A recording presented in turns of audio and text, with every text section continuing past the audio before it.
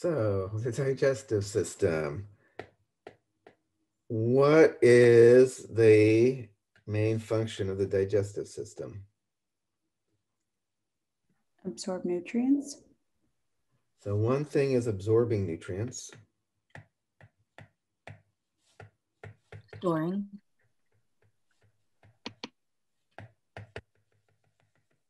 And what's the other big thing? Getting rid of waste. That's that's kind of part of the process, but I wouldn't say that as being like the core function. You know, Storing. Re- release in, in enzymes to prepare the nutrients to be absorbed, to be able to be absorbed. so yeah, that preparing. So I would say kind of breakdown of your food.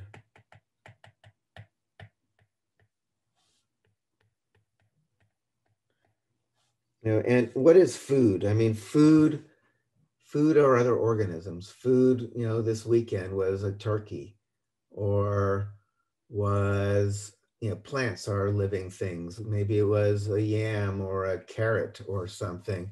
Basically, there are all these, you know, most of what is food was something that was alive, you know, some plant or some animal.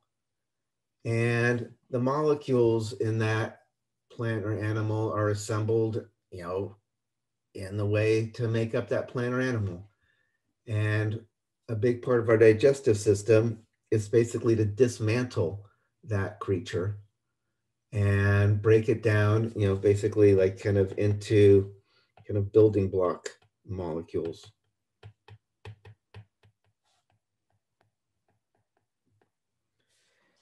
You know, we take what used to be a turkey or a cow or a wheat plant or a carrot or a potato or whatever and turn it into monosaccharides and amino acids and um, you know triglycerides and things like that fatty acids. So that's a big part of what we're going to talk about today. And particularly our lab is going to be all about this part which is taking the food and kind of basically dismantling it.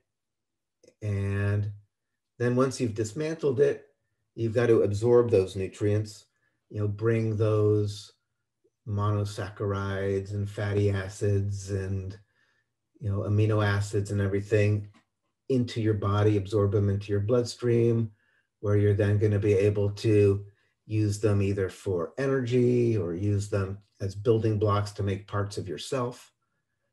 Um, you know, it's, you know, just from a pure biology standpoint, it's always it's almost a little creepy thinking about what life really is. It's like all of these creatures that basically consume other creatures and dismantle their bodies and then repattern those molecules into their own their own body.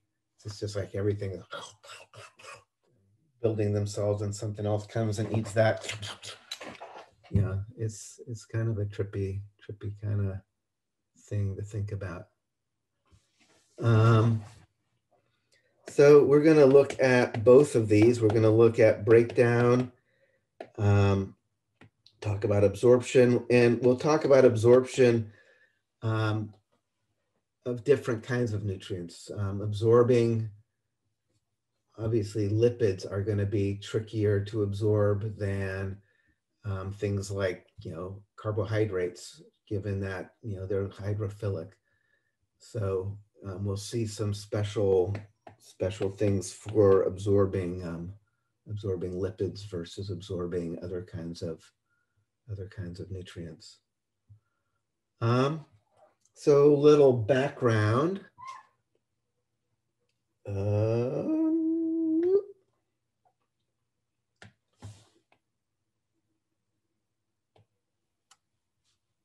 Actually, before we do that, I,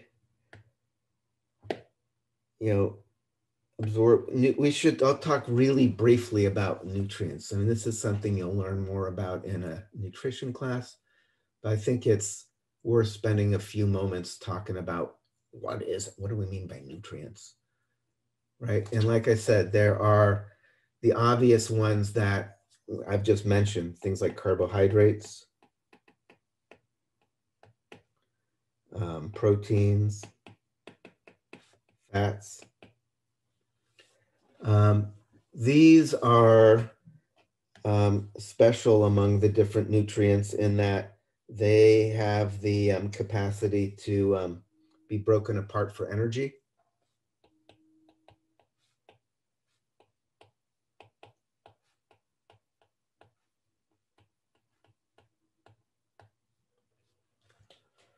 Um, you know, not always. A lot of times your amino acids you use just to build your own proteins. But any of these here or fats you're using to build your cell membranes and stuff, fatty acids, but these can also be broken down for energy. So other nutrients are things like when we when we say um, minerals. Minerals are just elements, right? Anything on the periodic table would be a mineral, calcium, potassium, sodium, phosphorus. You know, they're just, they're, they are elements that you need to um, build different parts of your body. Um, vitamins. Vitamins are a little, a little trickier to talk about. So to talk about vitamins, we need to talk about what does it mean to be an essential nutrient.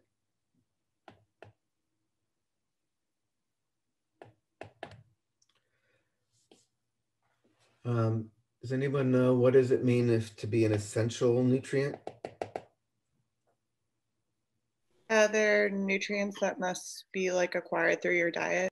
Exactly.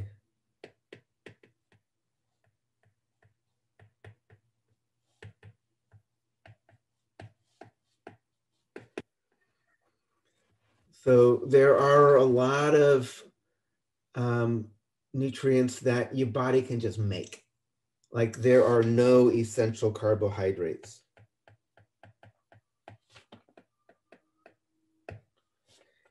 Any carbohydrate, your but we talked about gluconeogenesis. If your body needs sugar and you're not getting any sugar, you can use the stuff you already got to make sugar. So there are no essential carbohydrates. Um, there are a couple of essential um, fatty acids.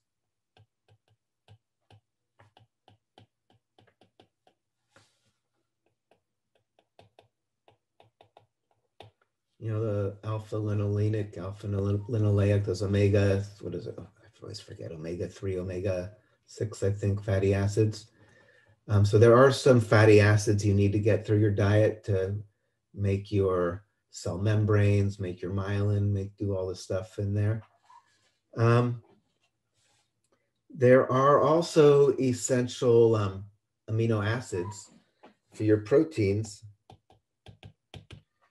There's like 20 amino acids that make up all the proteins in, in the human body. You know, of those, you know, depending where you read, around eight are essential meaning they need to come from your diet. The other ones you can make from other ones you've already got. But there are eight of these 20 that if you don't get from your diet, you're not going to have the building blocks you need to make the proteins in your body. Um, you know, this actually comes up when people talk about different kinds of food. When people talk about like complete proteins, versus incomplete. You know, when something is a complete protein, that's a food that is giving you all the essential, essential, essential um, amino acids that you need. Typically, if you're eating some creature, some organism that's, you know, similar to you, it's going to be complete. Like if you're eating an another animal, you're eating a turkey or a cow or something, you know you're they're made up pretty much of the same stuff you're made up of and you're going to get all the amino acids you need if you're eating some life form that's a little more alien like a plant or something You know, a plant, if you're eating a rice, some rice, or eating some wheat, or eating beans, or whatever, those are what we call incomplete proteins because they have some of the amino acids that are essential, but not all of them. So, like if all you ate was wheat, you would have the kwashiorkor, you'd have a horrible form of malnutrition because you wouldn't have all the amino acids you need. Um, how is it possible to be like a vegetarian? Obviously, lots of people are vegetarians and are perfectly healthy.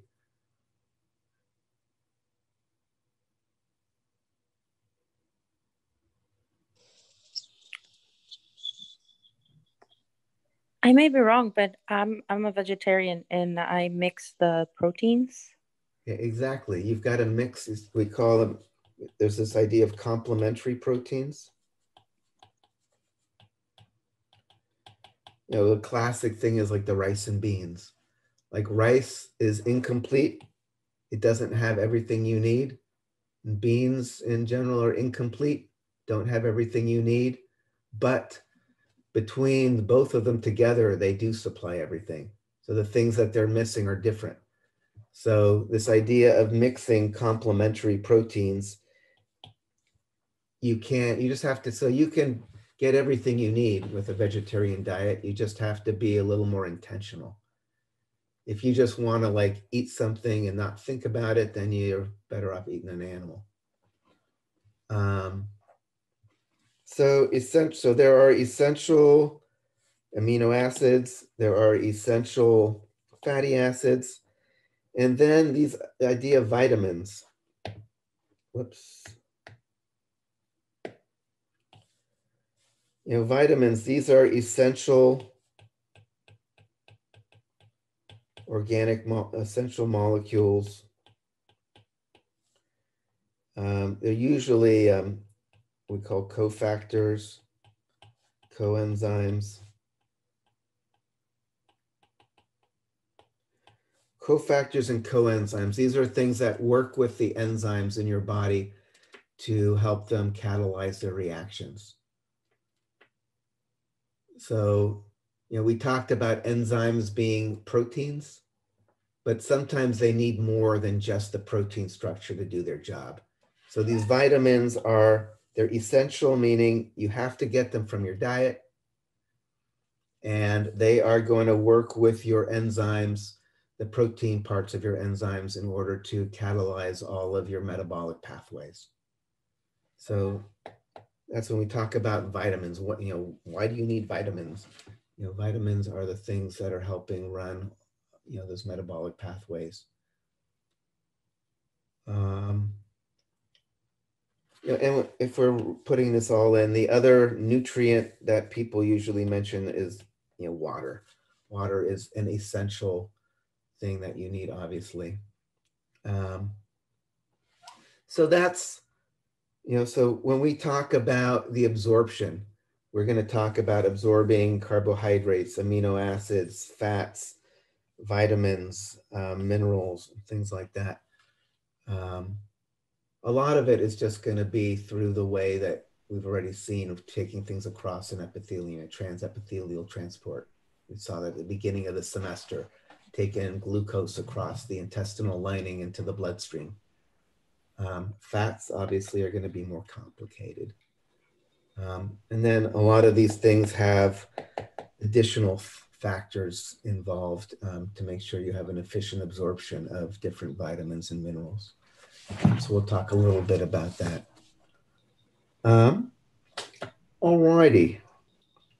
Now I can go back to here where we had started. So here's like this person. Oh, she let me even.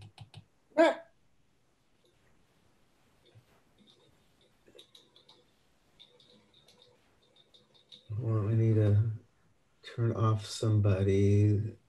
Emily.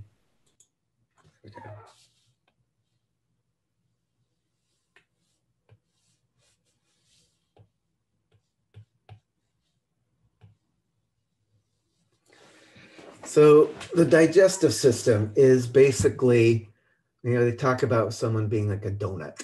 Um, it's a tube that runs through you. you know, kind of starts here, your oral cavity in your mouth, goes down your esophagus. Um, there's different sections that are kind of optimized for different kinds of things, but there'll be the small intestine, the large intestine, finally the anus. Um, this is, we call the GI tract, gastrointestinal tract.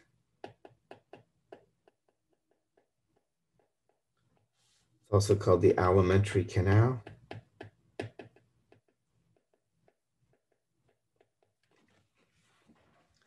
You know, so as you're digesting your food, you're it's never actually inside your body proper, right? You're chewing it up, swallowing it, it's getting broken down in your stomach and your intestines, and whatever is not useful is coming out the other side.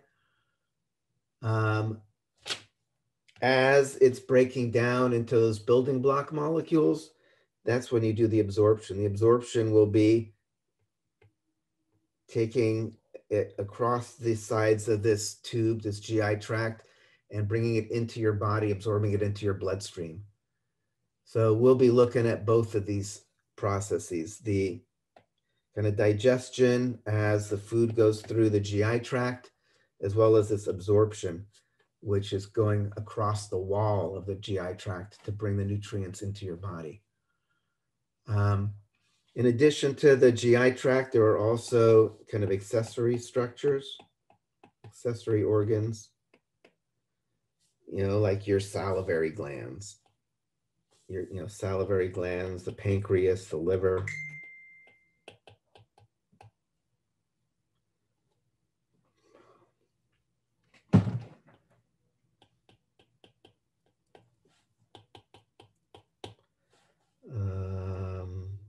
Etc. So we will look at these as well as we kind of continue on. Um? So let's let's start with the GI tract. We should talk about some of the details of the GI tract in general. And then what we'll do for the rest of the class is look in detail at what's happening at these different stages of the GI tract, what kind of digestion, what kind of breakdown is happening, um, and or is absorption. Um, so let's start with GI tract.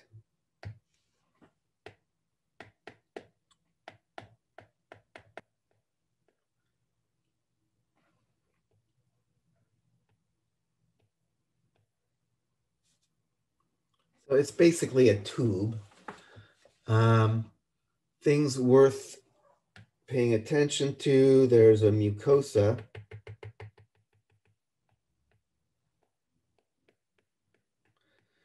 Mucosa just means the inner lining. It's the thing that has the epithelium. This is the thing where we're going to have the blood vessels and stuff on the other side when we do our absorption. Um, so we'll be looking at things at the mucosa in particular when we look at the actual final steps where you absorb the nutrients. Um, there's also a submucosa, which we don't really have to talk about too much right now. Um, I do want to talk about the muscularis externa, which we will talk a little bit more about. Um, there is smooth muscle in the wall of this thing.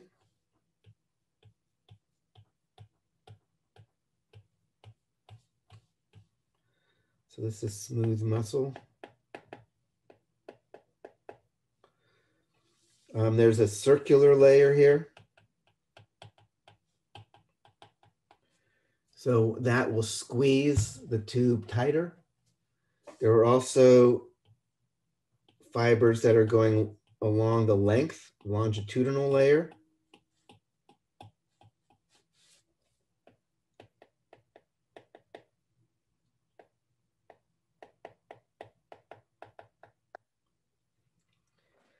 So that lets you kind of pooch out the thing. So you can either squeeze it or you can kind of pooch it out um, together. These are called the muscularis externa.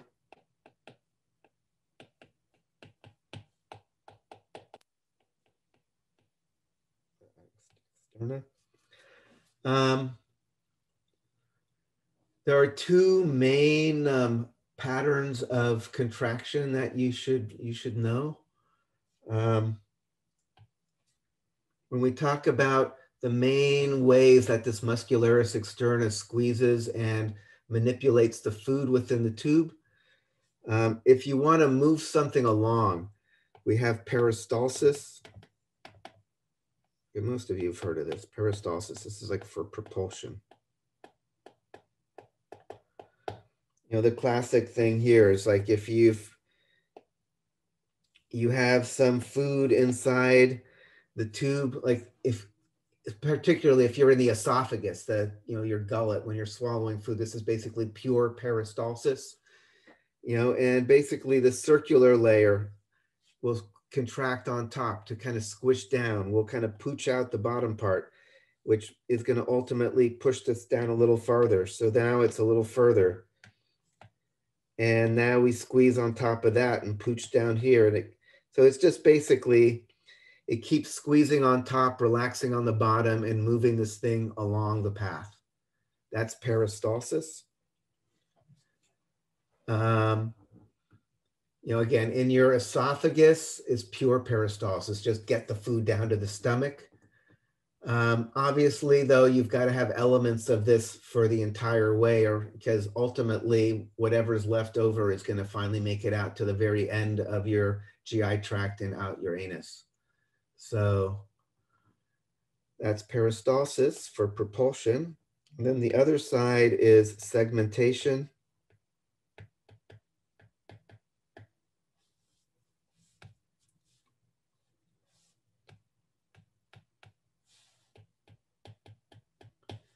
This is like for mixing.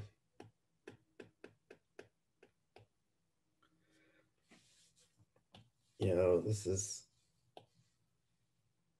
you know, you've got food in here.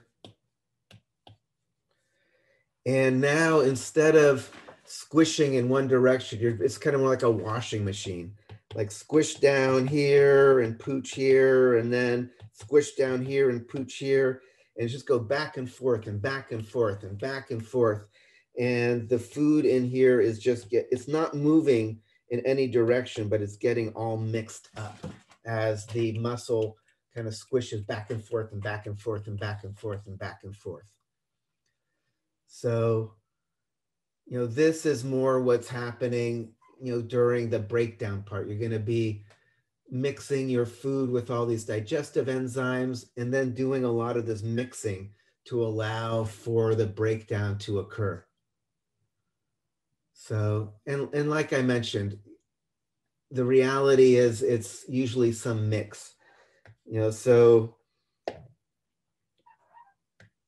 you know, as you start the digestive process, it'll be pure peristalsis to get here, but then it's going to be some mix of segmentation, kind of mixing back and forth, but then slowly moving along and but mixing and moving along and absorbing water and moving it along.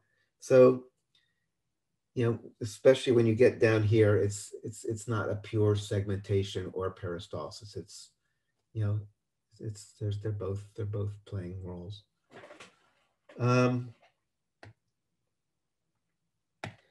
The other thing in the GI tract that I do want you guys to um, be aware of is the enteric nervous system.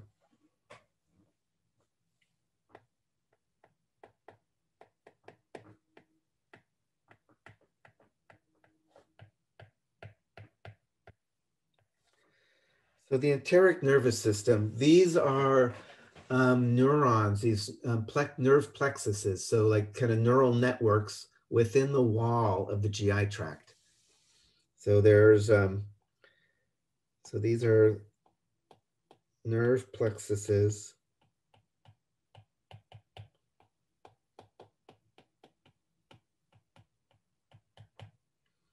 Um, there's one in between the muscle layers, the myenteric plexus of Auerbach, the submucosal plexus of Meissner. You know, you don't have to know the name of them, although I'll put them there.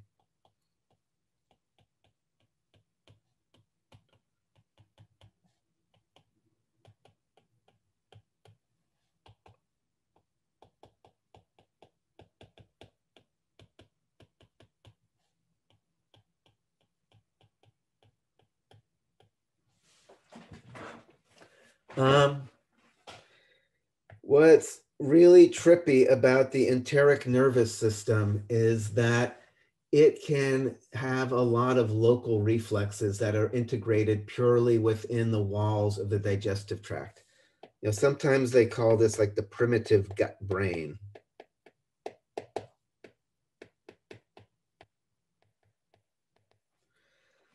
Um, so for reflexes, reflexes, there's got to be some kind of stimulus and response. What kind of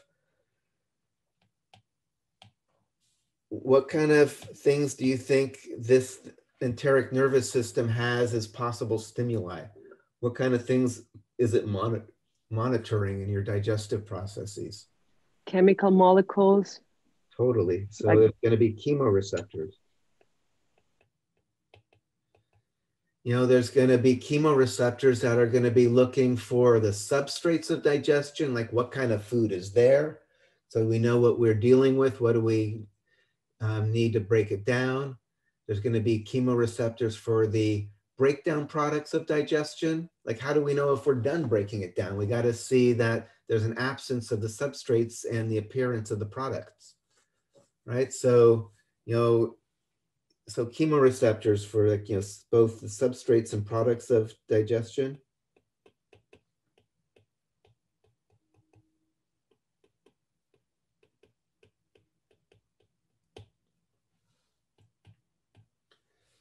Um, what other kinds of receptors are you going to have? If you're going to control your digestive processes. Stretch receptors? Yeah, exactly. Oh. It's going to be mechanoreceptors.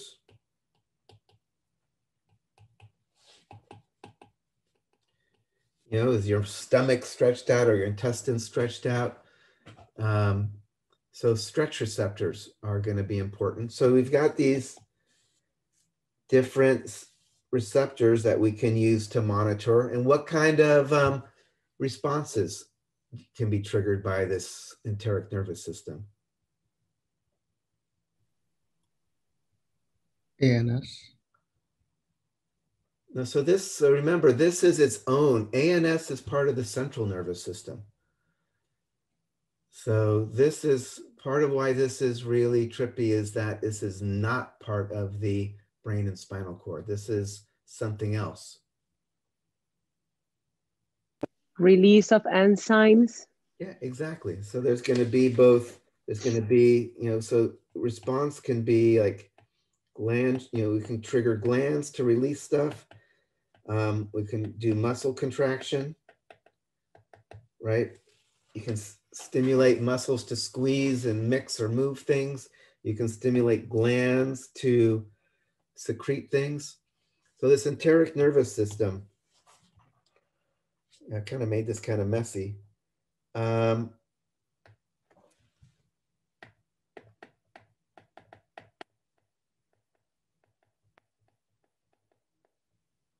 you can have what are called can have what are called short reflexes.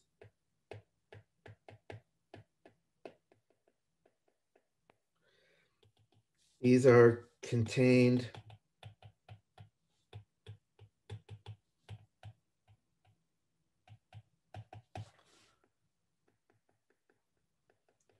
contained wholly within the GI tract.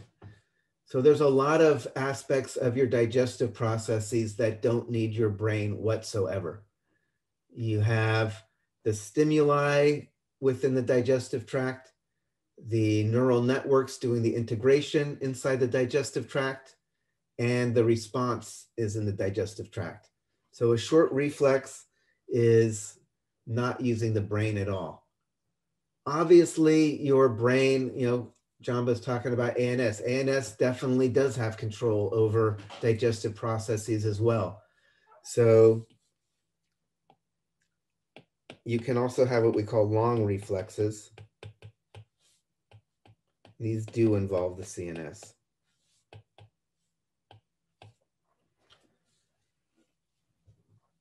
So, you know, that, that does exist as well, but it's important to realize that there are a lot of important um, reflexes within the digestive tract that don't use the brain at all. So, yeah, it's yeah, initially we were talking about the brain and spinal cord being, and they are the main integration for your for your um, you know, control of your body processes. But this this ENS enteric nervous system does a lot of does a lot of stuff on its own. Um, so there's that. All right. So I think now what we're going to do is just start going from the beginning of the breakdown all the way into, into all the absorption. Um, and for breakdown, we need to talk about two different aspects of breakdown. You know,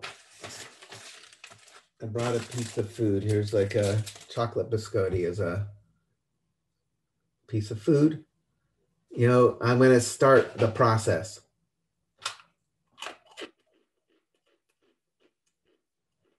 So what, you know, with my teeth and everything, what am I doing here? Am I breaking this down into, you know, as you know, individual molecules right now? No, small pieces. Right. So I'm kind of, yeah, I'm taking this whole thing, I'm kind of fit. So we call this, this is just this kind of physical breakdown.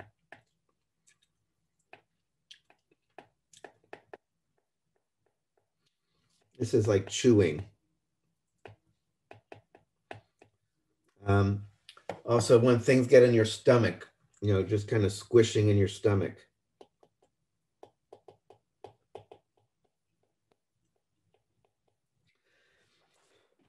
You know, this physical breakdown is more about breaking things into smaller pieces, increasing surface area, but it's not actually dismantling the food into individual molecules yet. What is the other part of breakdown? Turning into a bolus.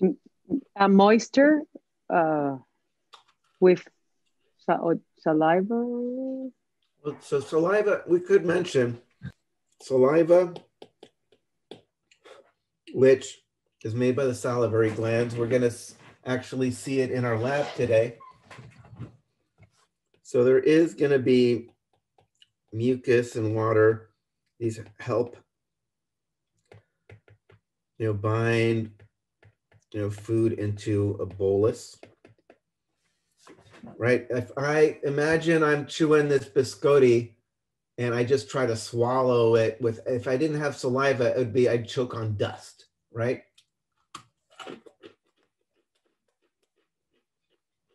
But instead, a little bit. Hey, uh, slippery little ball. It's gonna slide down my gullet. So I've got like the water and mucus to kind of bind. That's what this bolus is, like the slippery little ball that then you can swallow more easily. Um, what else does saliva have in it in addition to the mucus? enzyme. Yeah, Um, enzymes.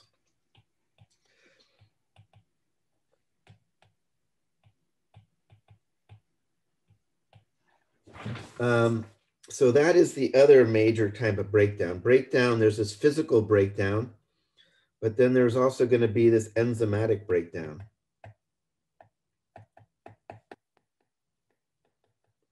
Chemical breakdown. So this this is kind of this the beginning is you have to just kind of squish it and break it apart. But then the real getting to individual you know molecules for you to absorb, that's going to happen with the use of enzymes that break break the larger molecules into smaller and smaller molecules. Um, and again, it starts in your mouth. The saliva in particular has something called salivary amylase.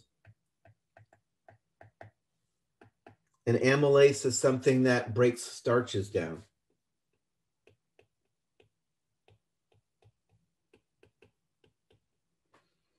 And again, what does this, what is starch? At a chemical level, what is starch? Carbohydrates, It's a carbohydrate and how does it? uh, how- glucose, long chains of glucose. long chains of glucose. You know, the amylases start by breaking apart um, these long chains of glucoses into shorter chains. Um, the final steps of breakdown into individual like monosaccharides, that's not going to happen until we get down into the into the small intestine. But even in your mouth, as you're chewing up your food, the enzymes in your saliva are starting to break the starch apart into simpler, simpler things. In our lab today, um, you'll get to see, you know, normally it would have been one of your lab mates. Instead, you get to see Becky put a bunch of spit in a tube and see what her spit does when you put it with some starch for a while. Um, obviously there's going to be more amylase than just in what's going to happen when you swallow that food what's going to happen with that amylase when it gets down into the ph 2 of your stomach It's Gonna get denatured. it's going to get denatured exactly so this saliva the salivary amylase is optimized to work at just more no, neutral ph like you'd find in your mouth once this hits your stomach, it's going to get denatured. It's not going to work anymore. Um, but that doesn't matter because we're going to see there are lots more amylases coming in from the pancreas later on when we get down to the small intestine. So this is just the very beginning of starch breakdown. This isn't um, this isn't the last word on amylase by any means. Um, you know, in, in terms of absorption, you know, very little is absorbed here, although there are blood vessels close, especially like under your tongue. Um, you know, you can absorb things in your mouth across the, just the mucosa of your mouth. And actually, sublingual is a way to administer drugs. If you want to get something into your bloodstream faster than swallowing it and waiting for that process, you know, putting a little pill under your tongue and letting it dissolve under your tongue and cross into the bloodstream across the mucosa, which is thin right under there. That's that's an efficient way to get get drugs into your system. So sub you know sublingual absorption actually is used, um, but in general, you know, when we get to, when we talk about absorption, it's going to be mainly down in the small intestine you're not really absorbing much of anything in the mouth. It's more about just chewing it up and swallowing it. Um, but again, we will come back to this idea of saliva, the idea of the mucus versus the enzymes, the idea of amylase and what amylase does, how amylase is going to function different, differently in the pH of your mouth versus the pH of your stomach. That's all stuff that you're going to actually be working with when we get to our lab later this morning. So this is an introduction to the digestive journey, but it's also kind of an introduction to um, what you've got to think about when we get into the lab as well. Um, so then,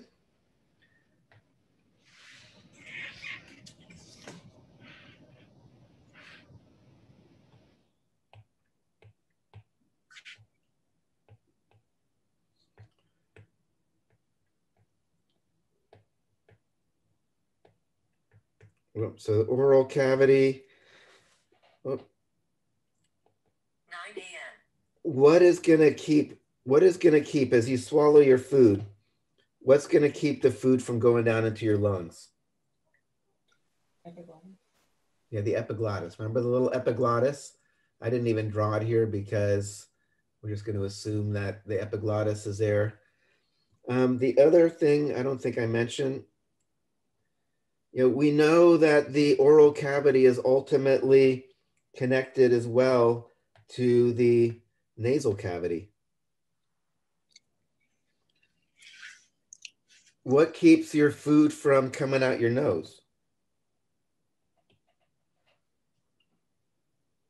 Uvula. Yeah, exactly. So you have like the soft palate in the uvula. So when you are swallowing, the uvula and the soft palate kind of go back to block off the upper upper um, passageways. So know, obviously this can fail. You know, you're laughing and milk comes out your nose or something. So, um, but in general, the food doesn't go up into your nose or down into your lungs because of these little flappy things that help block the passageways. Um, the beginning of swallowing is is obviously voluntary. You have all these these pharyngeal constrictor muscles, and you're kind of squeezing the food back down into the back of the throat. But once it gets to the top of the esophagus, it's then going to be a kind of automatic reflex with the peristalsis. And the peristalsis is just going to continue squeezing the food and plop it down into the stomach.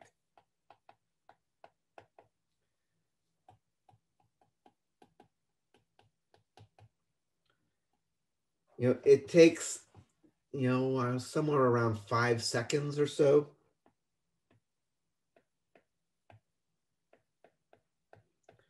from when you start swallowing the food to when it gets down and reaches your stomach. So it doesn't just, you know, obviously it doesn't just fall, right? You could be lying on a on a chaise lounge and somebody's feeding you grapes and the food still goes down your esophagus and reaches your stomach, right? So it's it's being actively squished along. Um, if for whatever reason the food gets stuck, and then the wave continues down, but the food is still stuck in here. People have probably felt this before. It's like, ooh, wait, something's wrong. Um, you know, the system will automatically initiate another wave of peristalsis to catch it and continue moving it down. So, so that, so this part of the digestive tract is purely about getting the food down into the stomach. Um, what we're going to talk about now is what happens in the stomach. Then after the stomach, we'll get down into the small intestine. After the small intestine, into the large intestine. Maybe I should.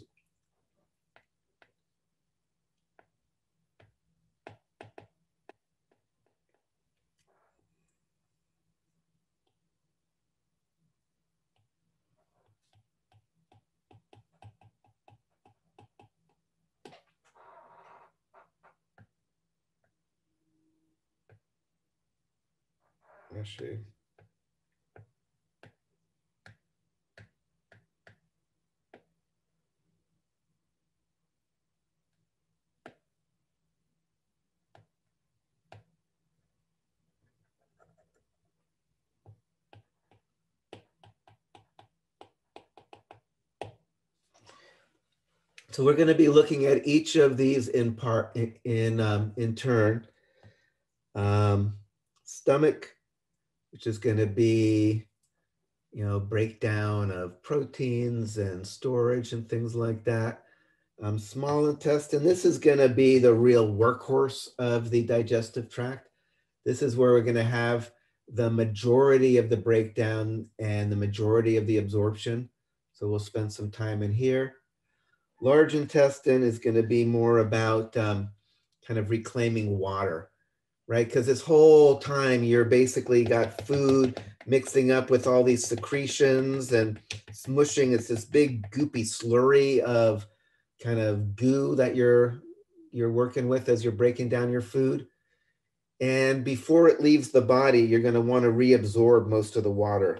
You know, bring the water back into your body, um, or else you're going to dehydrate. It's part of your water balance is make sure you know there's got to be enough moisture in the feces so you can actually squish it and move it along and get it out so you're not constipated. But if you have too much water you know that's diarrhea and that's actually dangerous. You start becoming dehydrated and losing water from your system.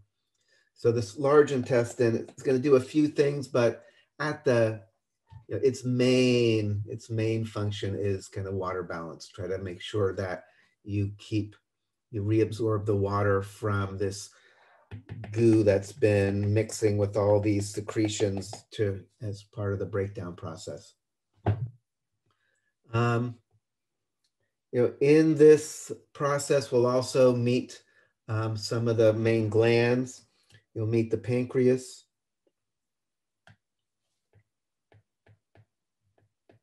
Which is kind of sending um, all sorts of stuff into the small on top of the small intestine. You'll meet the liver and the gallbladder, which is also sending stuff here at the top of the small intestine.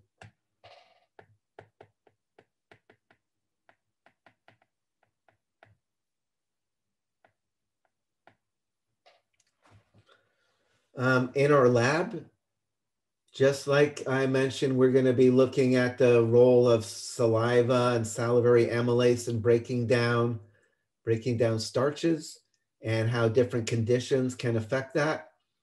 Part of our lab is going to be looking at the breakdown of proteins that happen in the stomach and different conditions that can affect that.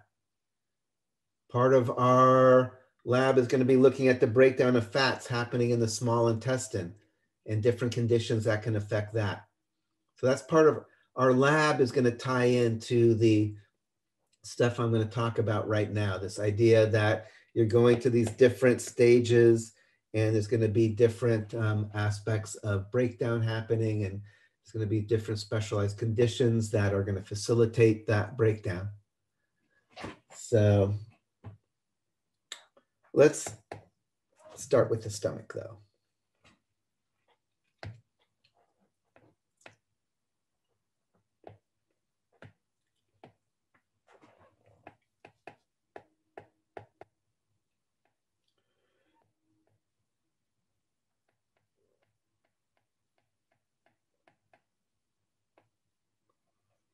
So the esophagus, obviously the gullet taking the food down.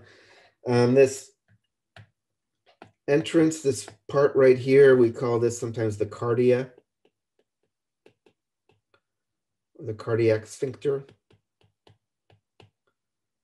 Sphincter, also the gastroesophageal sphincter.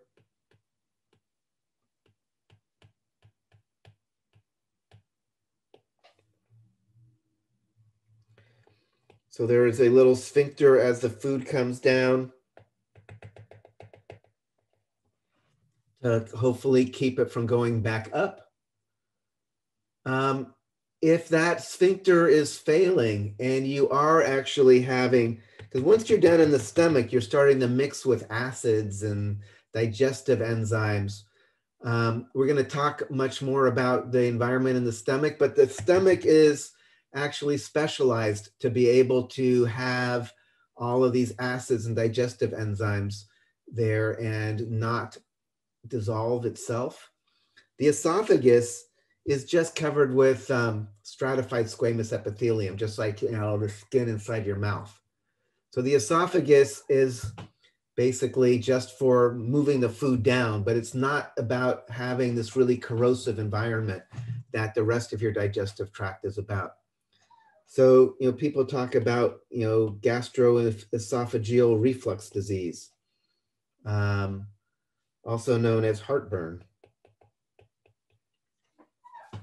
You know, that's if the digesting food in here, again, which is mixed up with acids and digestive enzymes, if that manages to get back up into here, the esophagus is going to hurt um, because again, the, this, the mucosa of the esophagus is not designed to deal with uh, those corrosive digestive um, elements. Um, it's called heartburn, be, and this is actually called the cardia even because, you know, where your esophagus is entering your stomach is right near where your heart is. So it's like you know, heartburn is not your heart burning, it's your esophagus burning, but it's kind of in the same, you know, kind of basic location as your heart is. Um, obviously, this can be worse if, you know, if you're like really full, it's more likely you're going to squish food back up into there. Or if you're lying down versus sitting up, there's lots of things that can affect this. Um, so actually, we should talk about this idea of how does your stomach and the rest of your digestive system for that matter keep from digesting itself right? This digestive tract is designed to take animals mammals things exactly like you and break them apart into building block molecules right so this is something designed to take a cow and turn it into monosaccharides and fatty acids and amino acids you know, how, how do you stop from just dissolving yourself from the inside? mucosa the lining of the stomach. So what, what about that mucosa helps protect it from getting digested by all of this digestive juices? Neutralizing the acids. Um, that's not gonna, in fact, in here, it's inside the stomach, the stomach is around pH 2. Um, it's super acid. That's actually necessary for the stomach to do its job. You know, we're gonna, and then when we get to the other parts, we'll neutralize that, but then we're gonna make it more alkaline. So you actually have more extreme pHs inside the GI tract compared to normal pH. So we need to protect ourselves despite the um, extremes of pH.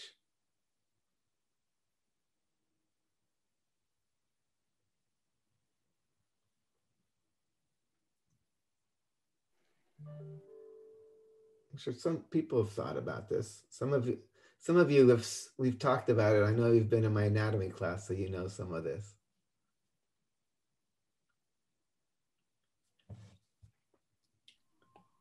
Does it have to do with the buffer system? No. I forget exactly, but isn't it something becomes activated only when it becomes in the stomach? Yeah, so that's part of it. So part of it is um, most enzymes,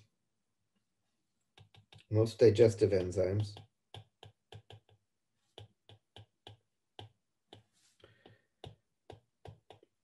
produced in an inactive form. Um, for instance, the, the enzyme that we're going to see in lab, um, pepsin. Pepsin is a protease, something that breaks down proteins in the stomach. Now, for instance, in here we have pepsinogen, it's, is is called pepsinogen. When it's created, it's called pepsinogen. In fact, actually, let me kind of draw more of the lining of the stomach. You know, so we have these little cells making pepsinogen. Pepsinogen is not active. It doesn't break apart proteins. Once it hits the really acidic environment, then it is converted into the active pepsin.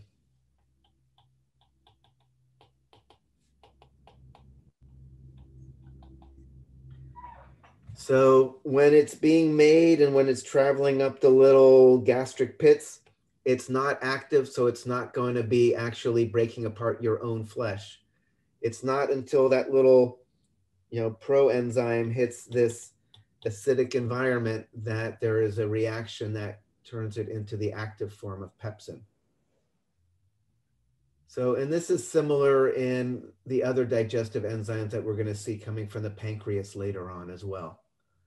Um, so you make them in an inactive form, and then once they're up in the um, this specialized pH of the lumen, then they become active. So that's one way to protect from digesting yourself.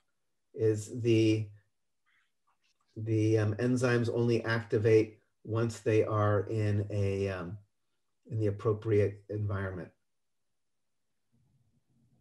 Um, what other ways do we have to protect ourselves from being digested from the inside?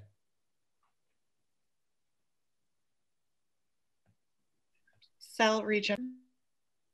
So another one is cell regeneration. So the fact is, even under best conditions, the cells are wearing out pretty quick. So we have a constant turnover of the cells making up this mucosa. So there's, so, you know, one thing that is protecting us, how to protect. So producing them in an active form. Another thing is just like a high cell turnover.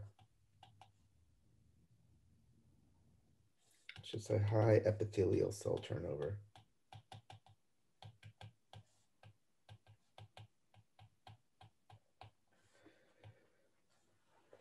So the cells that make up the walls here are wearing out and they are constantly being replaced. New cells are migrating up from the protected little pits to replace the ones on the front line.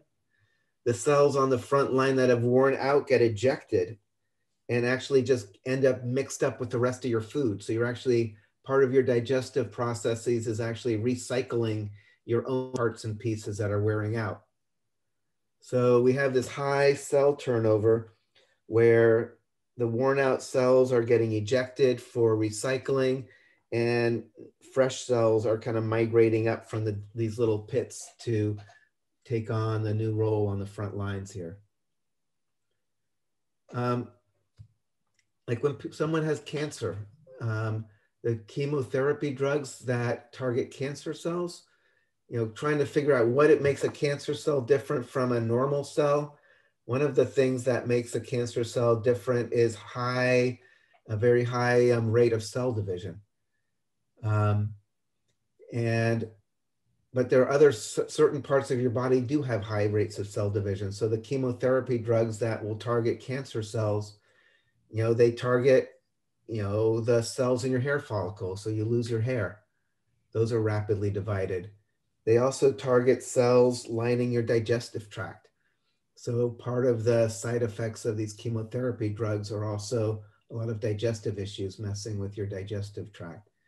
Because um, that's another place where you have rapidly dividing cells. In this case, it's, you know, part of this, how do you normally deal with the fact that it's such a corrosive environment and they're designed basically to melt mammals into goo. So you've got to have these things in place to keep yourself intact. Um, and then there's one last thing to that's going on to protect you from digesting yourself from within.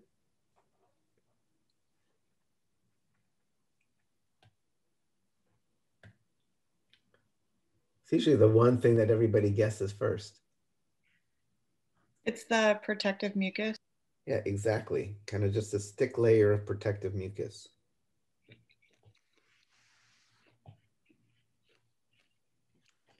So that would be like number three.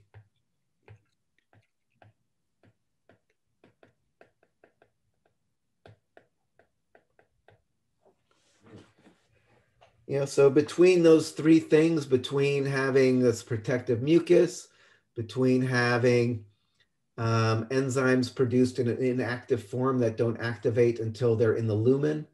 Again, lumen just means that inside the hollow place inside there. Um, having a high epithelial cell turnover to actually keep repairing stuff that actually is wearing out on the front lines. You know, you basically keep, you know, keep your food digesting without digesting you. Um, more stuff about the stomach.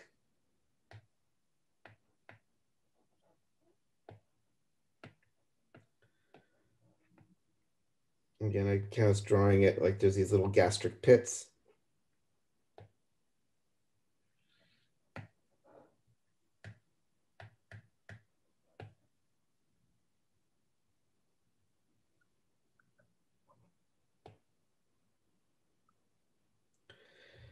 Um, cardia is this kind of area here. This big part here is called the fundus. I should mention it. This part down here is called the pylorus. This down here, this is the pyloric sphincter. which is heading into the small intestine.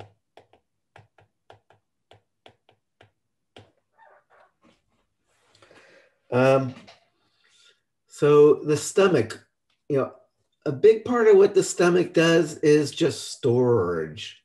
Like this fundus is a big floppy part of the stomach. And as you are swallowing your food, it's kind of just falling in here. And you can like store up to like a, a gallon.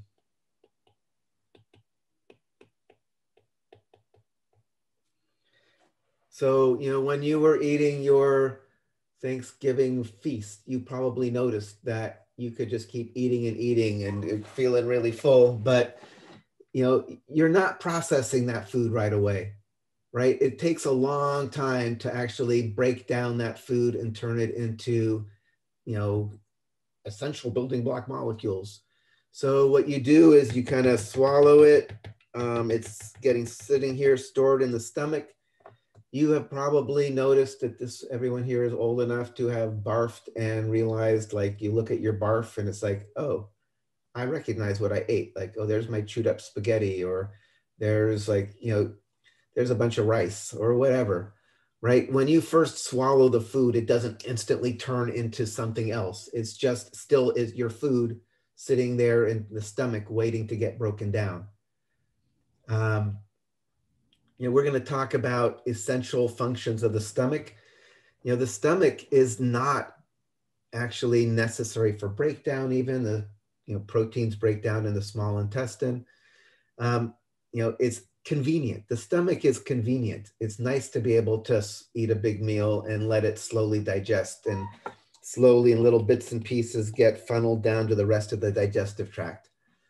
Um, so, but you know, people get stomach reduction surgeries or stomach stapling and things like that if they're actually trying to, you know, if someone's morbidly obese and they're trying to like lose weight and not eat as much, you can just reduce the ability to store food. So you eat a little bit and you have to just let that process before you eat a little more.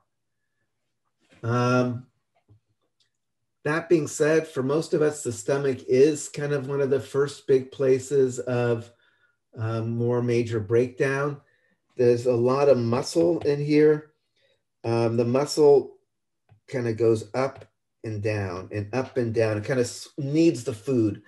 It squishes up, squishes back down, squishes back up, squishes back down. Um, so this is still kind of mechanical. This is taking what used to be your chewed up spaghetti and now kind of turning it more into a paste.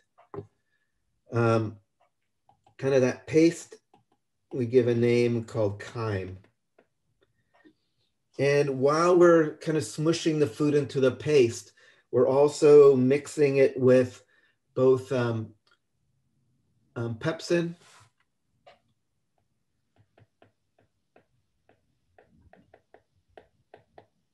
which is a protease.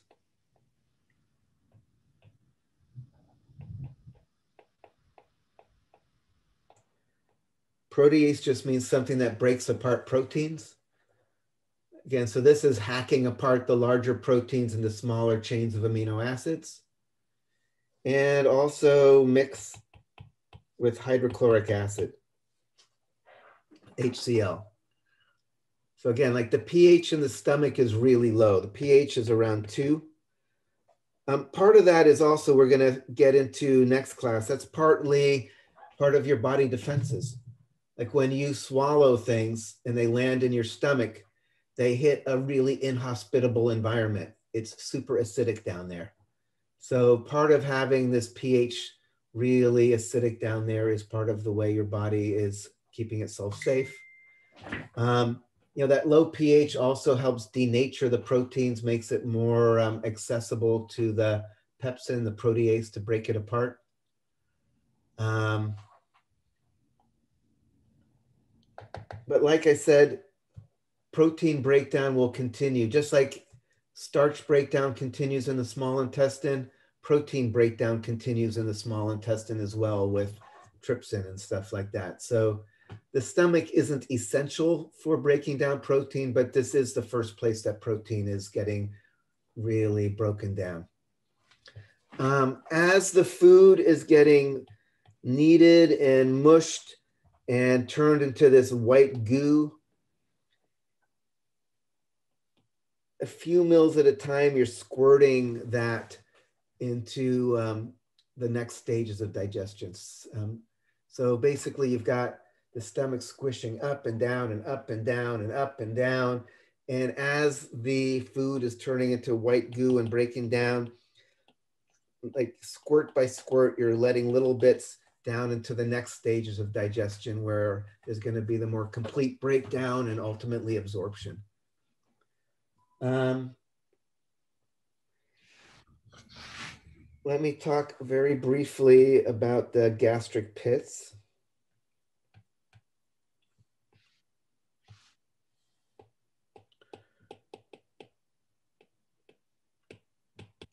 So gastric pits are these basically little divots along the walls of the of the stomach where the gastric juices are kind of coming up from. And then lining the walls of these pits are the gastric glands.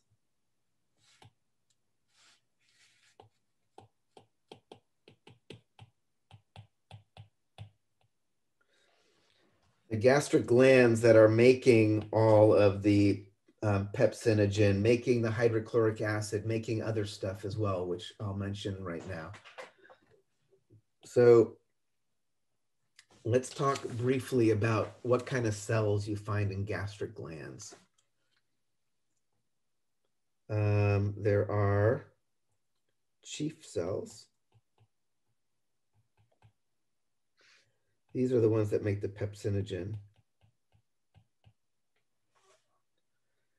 So, and again, pepsinogen, which is going to become pepsin in the lumen under the low pH, which is then going to break down protein. There are parietal cells. These make hydrochloric acid. Um, and they also make something called intrinsic factor.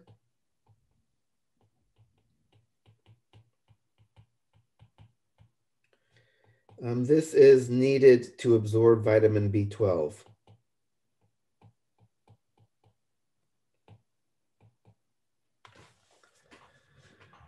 Um, one of the kind of non-intuitive things about the stomach, um, the only essential thing that the stomach does that has to happen for you to stay alive and healthy is make intrinsic factor to allow you to absorb B12. You need B12 for lots of processes. We talked about you need it to make your red blood cells. If you don't have enough B12, you're going to have pernicious anemia. Um, you know, everything else about the stomach is kind of optional, right? It's nice that it can store food, but like I said, you can just nibble bits at a time and let it percolate down the system. It's nice that it starts with protein breakdown, but protein breakdown happens just fine further down in the small intestine with enzymes from the pancreas. Um, but this is something that only the stomach does. So like people who have like those stomach stapling operations and stuff like that, they have to get additional um, supplements of B12 to stay healthy. Um, so that that you should know about.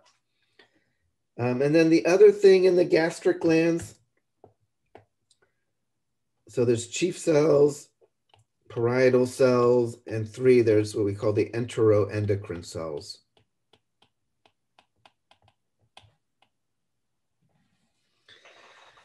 Um, let me look at the time. Let me, yeah, let's, let's, I'm gonna, we're gonna finish up the stomach and take a break here. Um, but for enteroendocrine cells to make sense, I, I need to think, introduce the idea of endocrine and hormones. So let me briefly introduce the idea of hormones here.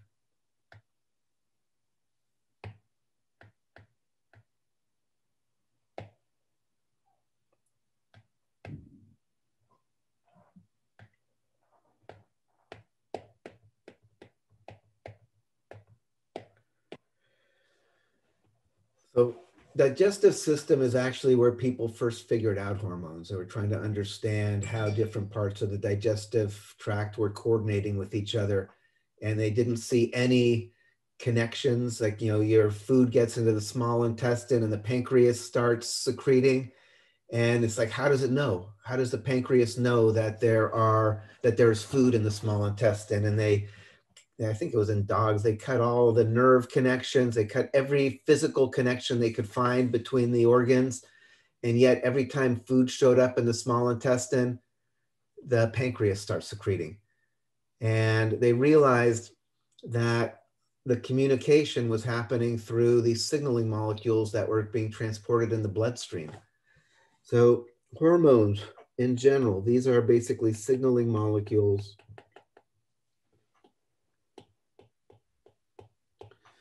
Um, I'll say typically transported by the bloodstream.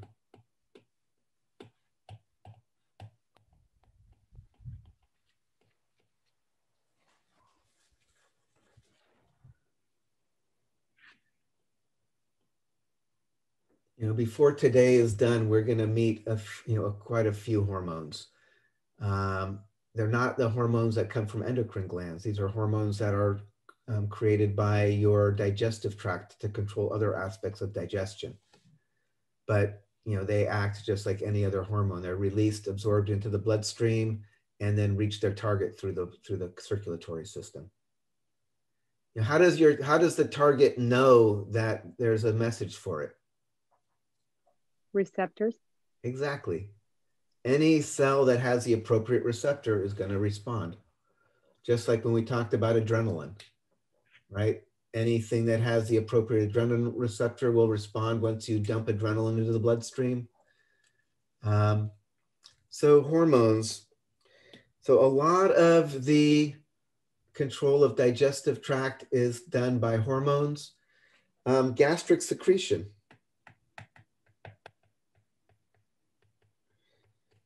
Um, for the stomach to secrete the pepsin and the acid, this is controlled by something called gastrin.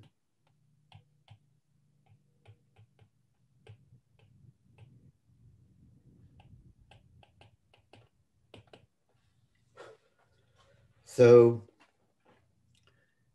like these enteroendocrine cells that I was talking about,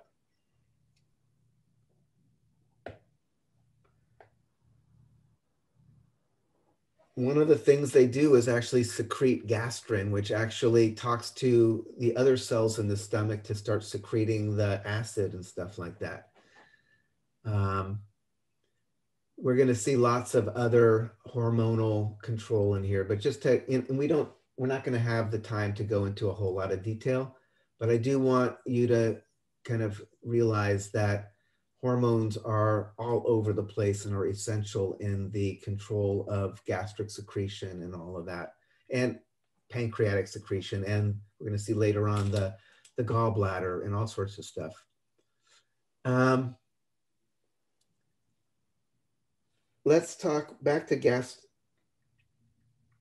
Okay, two, oh, two more things and then we'll leave the stomach. Um, absorption in general, the stomach is about storage. So I'm going to erase it since you know it's about storage. It's about mechanical and chemical breakdown, that kind of kneading, you know, kneading, K-N-E-A-D, like when you're making bread, smushing the food into a paste and mixing it with pepsin to break down proteins. So we've got the protein breakdown, we've got storage. Um, there is very little absorption happening, but there's a little bit that's worth mentioning.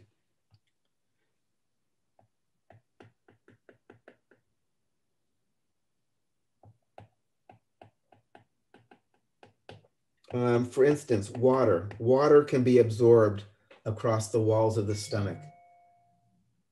So like when you're drinking water, it does, it can just start getting into your body just across the walls of your stomach into your bloodstream.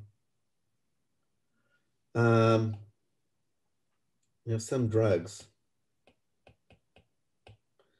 Like if you take aspirin, it's going to start going across alcohol, right? If you probably like, you know, if you're doing some tequila shots, you don't have to wait for the for the alcohol to make it down further down. It's like you start getting buzz, your buzz on pretty quick, right? That's because the alcohol can cross the wall of the stomach and get into your bloodstream. So there is a bit of absorption, water, some drugs, but in general, most of the absorption of nutrients are going to happen further down when we get to the small intestine. Um, so the last thing I'll talk about with the stomach is this idea of gastric secretion with a little, in a little more detail. So gastric secretion, I said, is controlled by this release of gastrin. But what is going to trigger the release of gastrin?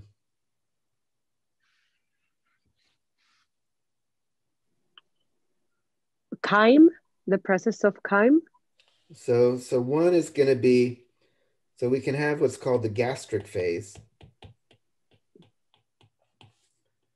So there's going to be both, um, so one is also stretch, stretch of the stomach. You know, presence of food. So part of the, part of it is just kind of what you think. Um, the stomach is stretching, there's food in there, that's going to trigger the release of the gastric juices in order to um, start digesting it. But what's really kind of fun to think about is there's before you get there, that's what's called the cephalic phase. So this is actually two. Cephalic, cephalic means head. This is just thinking about the food.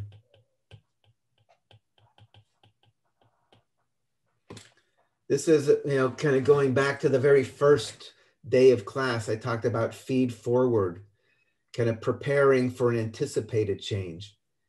If you are about to eat a yummy meal, the system is already going to, you know, get get cracking and start secreting um, the gastric juices, you know, before you even take your first bite, because it's about to get there. Um, what's interesting, it only seems to work if you actually have an appetite for the food. If you are, they've got like some gruel they put in front of you and it's like, you got to eat it. It's like, Ugh. you know, it's not going to work that way. You've got to actually have kind of a positive anticipation about the meal. Um, you know, the third thing that's going to happen, which we're going to talk about after our break, um, you can actually have you know, inhibition, you know, from the small intestine.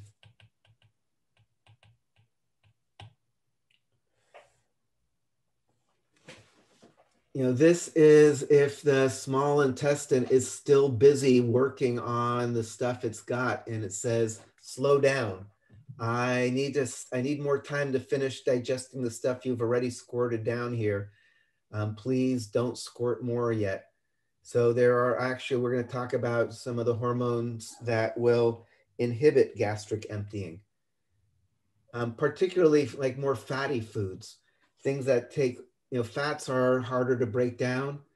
So if you're, you know, kind of coming back to this picture here, if you're eating fattier foods and it's taking longer for those fats to break down, here in the small intestine, it's going to actually send a hormonal message back and try to slow down the stomach so the stomach doesn't just keep dogpiling more food when it hasn't finished, the small intestine hasn't finished working on what it's already got. So that's what I mean by the small intestine can inhibit gastric emptying. Um, where did I put it? That was over here, right? So, so, so this the small intestine releases hormones that tell the stomach to slow down.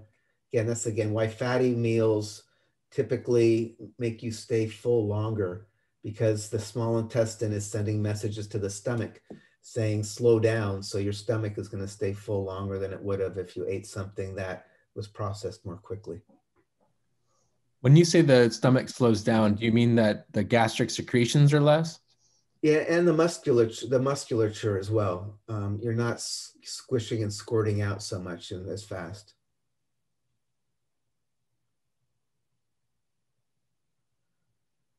Um, what else? Oh.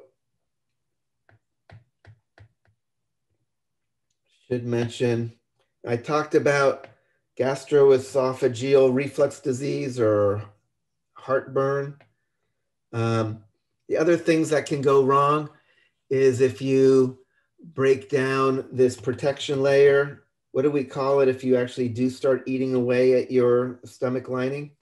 An ulcer? It's an ulcer. Um, and you can have peptic ulcers. You can have you can have esophageal ulcers. You can have duodenal ulcers. Um, you can even have perforating ulcers where the hole goes all the way through the wall. Um, some of the you know, one of the things that was kind of surprising that people found out was that you know the ulcers are often associated with um, this bacteria helic h. pylori helicobacter pylori. So people used to like when i was a kid it was just like stress gives you ulcers um, but now they realize that it's often associated with this bacteria as well that's making you more um, apt to get the ulcers. So um, antibiotics can help with ulcers. You know, the guy who discovered this, they thought he was kind of ridiculous. And then he did like the critical experiment and drank down some culture broths of this bacteria and all this within days started getting ulcers and stuff.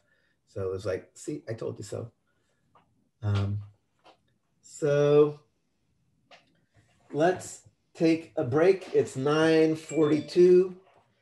All right, so we're going to spend a little bit of time kind of finishing the digestive journey and then we'll shift gears and start doing the lab.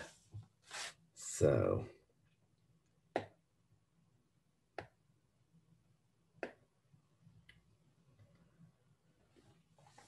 All right. So last we left our our little food. We were kind of coming out of the stomach here.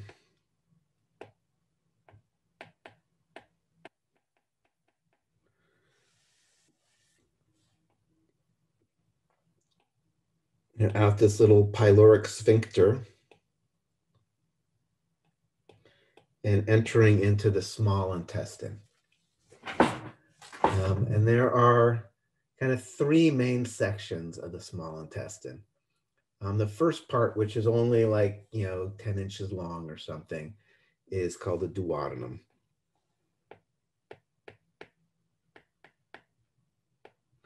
This is basically kind of being kind of like a mixing zone. Um, then that's going to feed down into this kind of more major part, the jejunum, which is kind of the main site of both breakdown and absorption.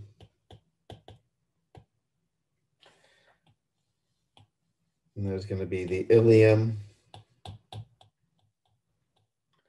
which we'll talk about and then this is going to head into the large intestine, which we'll talk about next, the colon.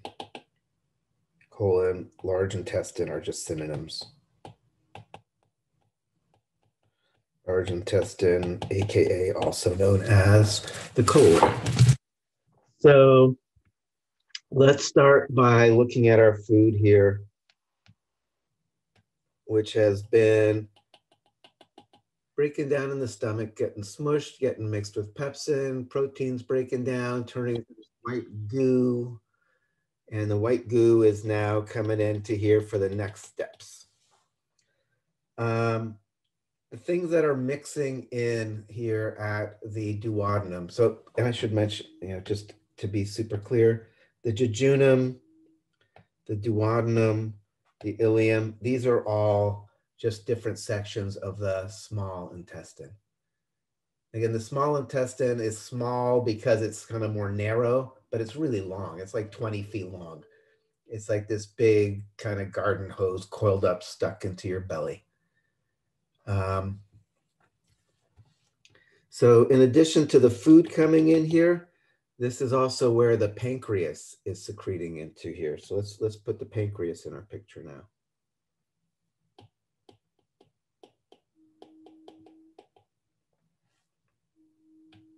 There's a little pancreatic duct feeding into here. Um, the pancreas does a few different things. The pancreas is, you know, famous in that it's an endocrine gland and an exocrine gland. You know, we've mentioned a little bit about insulin along the road. We're going to talk more about insulin. The pancreas does make insulin, which is an endocrine hormone. Um, there are specialized little parts of the pancreas that do that. That's not what we're interested in right now. We're interested in the exocrine gland functions of the pancreas, the parts of the pancreas that makes digestive secretions that are going to go down this little duct and feed into the duodenum. So there are two main kinds of secretions made in the pancreas. One, it makes a bicarbonate juice.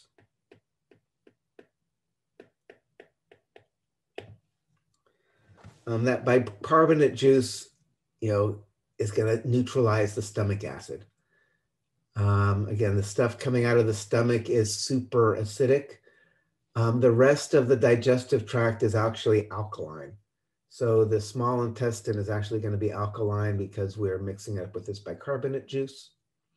Um, the enzymes for the pancreas, I mean, the enzymes that are going to be working here in the small intestine are all optimized to work in an alkaline environment rather than acidic like in the stomach. Um, so pancreas, bicarbonate juice to neutralize the acid, and then basically enzyme juice. And there's enzymes to break down pretty much every kind of, of nutrient. You know, there are going to be amylases, pancreatic amylase. This breaks down starch. There's going to be proteases. And I mentioned the idea of trypsin. Um, basically, things that break down proteins. Um, there's going to be pancreatin, which is a lipase, which breaks apart fats.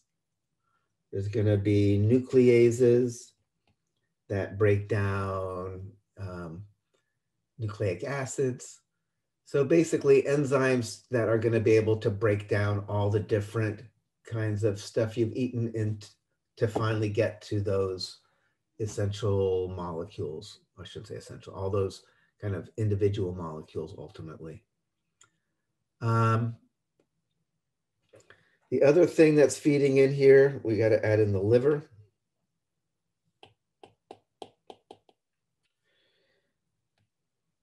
Gallbladder.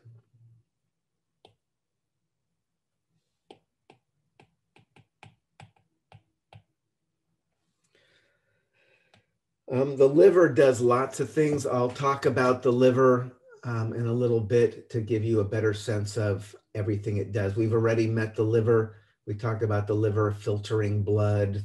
Um, we've talked about the liver uh, making all of the plasma proteins.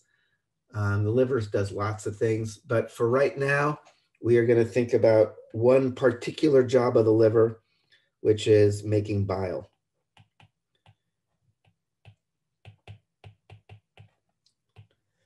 Um, so the liver makes the bile, but then it gets stored and concentrated in the gallbladder. So when you need, when you need to have um, bile, the gallbladder can contract and squirt it into here as well.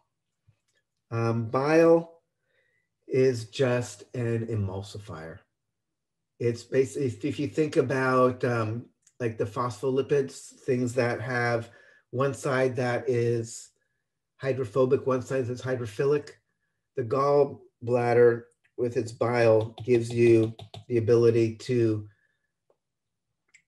take fats. Like if I have, if normally, if let's say I have like just ate a, let's say I had a spoon of olive oil, you know, and even if I smushed it around and broke it up into little bits, before you know it, it's going to be back into a big glob, right? If you take oil and water and you shake it up, it separates really quick. So, and that's not going to be very efficient for breakdown. I have lipases, I have enzymes from the pancreas that break down fats. But if I have lipases and they can't actually get at most of the fat, they're not going to be able to be very efficient at breaking down the fat. So like if this is my lipase, it is not really going to be very efficient because most of the fat is still in just, oh, I meant to do it in yellow. Most of the fat is still in a big glob. So what bile does, bile are these little amphipathic molecules.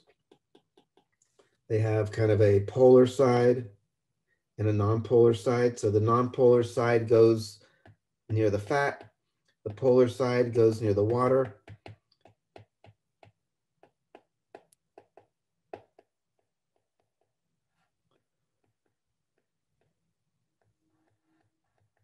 That's bad. Let me rewrite that.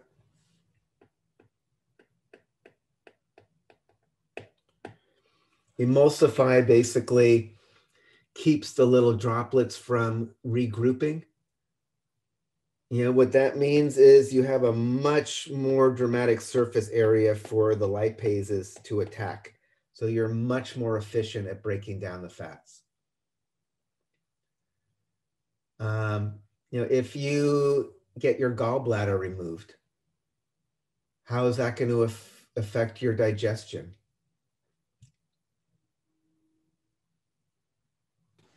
It's gonna be more difficult to break down fats in your diet. Exactly. You have to be much more conscientious about um, the fats that you're eating because you're going to be way less efficient at breaking down fats. Um, so you have to be much more conscientious about what you're eating if you don't have a gallbladder. Um, so,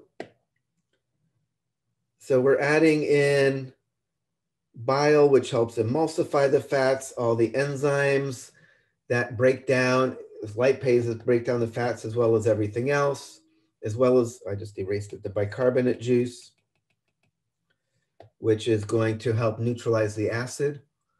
Um, it's worth spending a few moments introducing a couple of the hormones that control the secretion from the gallbladder and the pancreas.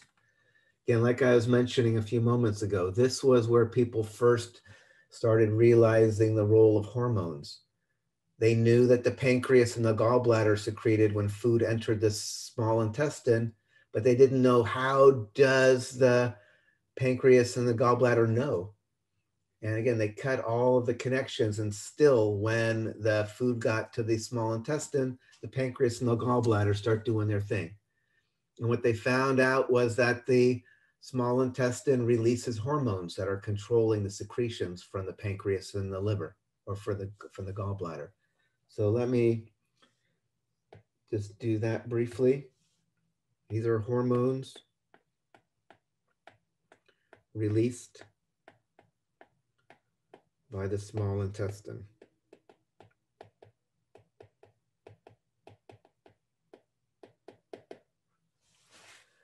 Um, one is called secretin.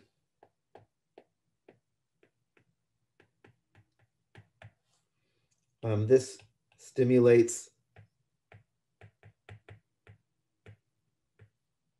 bicarbonate secretion by the gallbladder by the pancreas.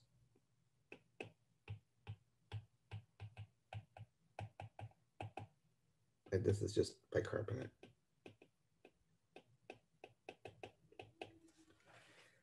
Um, what is the stimulus going to be for the secretion of secretin by the, by the small intestine? Acid, Exactly, exactly. When it's low pH in the in the duodenum there, we need more bicarbonate to neutralize that acid. So secretin is just going to be stimulated by low pH. Um, the other thing, you you just need to know it as CCK. It's officially called cholecystokinin. And this is what stimulates the release of the bile and the enzyme juice. So gallbladder secretes bile, pancreas secretes enzymes. So this obviously is going to be stimulated by the presence of fats and other foods in the small intestine. So when there's fats and other foods in the small intestine, the small intestine releases CCK. CCK talks to the gallbladder and to the pancreas and says, we need some bile and enzymes to break down this food that's here. This will also inhibit gastric emptying.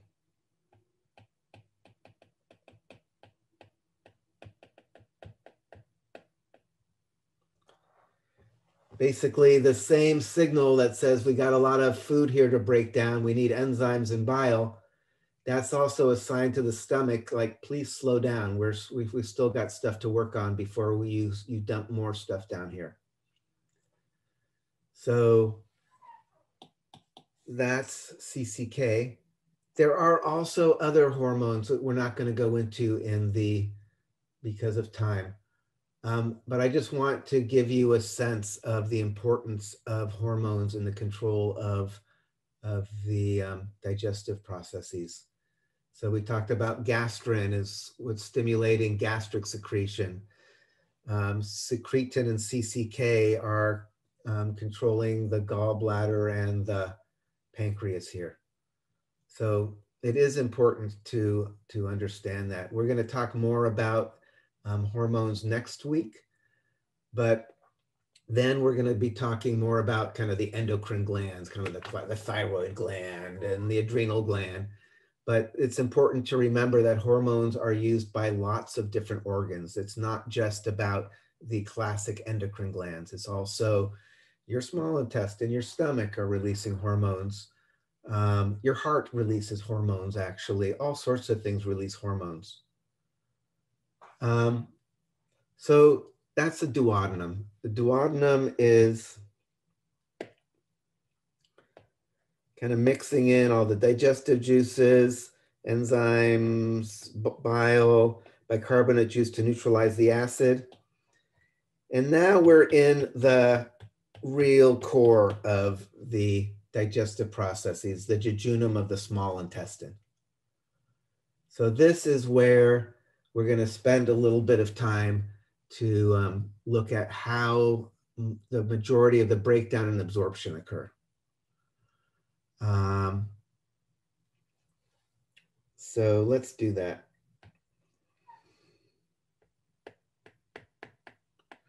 And I should, let me bring up a picture because picture is going to be way better than I can describe it really.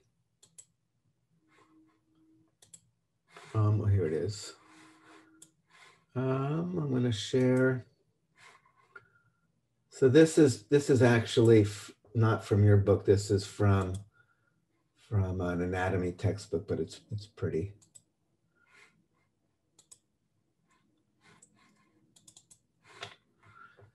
So this is showing the levels of folding that you end up having in the um, small intestine to increase the surface area. The basic idea, this is supposed to show a bit of the tube. You know, again, about this thickness of a garden hose or something. And then you can see that it's got all of these kind of grooves and ripples. These are called the plicae circularis. So those are increasing the um, surface area. These you can just see, they look like these kind of baffles in there, even if you just cut open a intestine. And then if you look at the surface of the lumen, it doesn't look smooth at all. It looks kind of like velvet or terry cloth. That's because the surface is thrown up into all these little finger-like projections called villi. So it looks kind of furry in there. And then if you look at each individual villus, this here is supposed to be one of these, one of these little fingers. It's got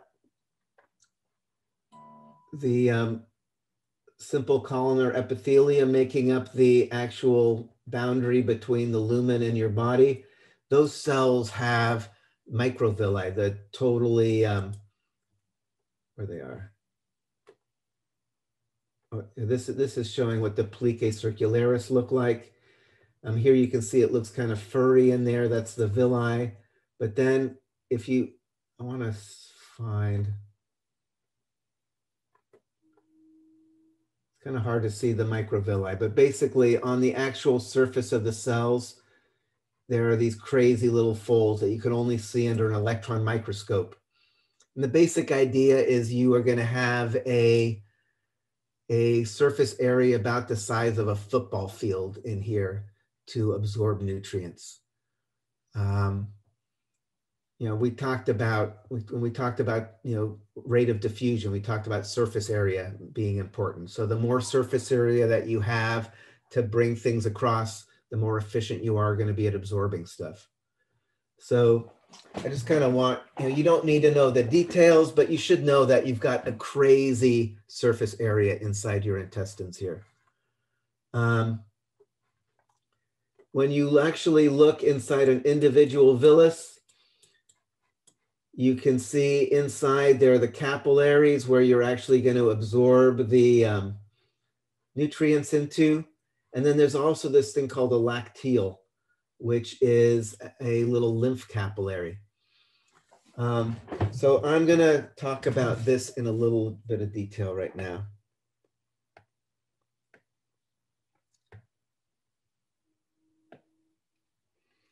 So I kind of wanted to just do all this. So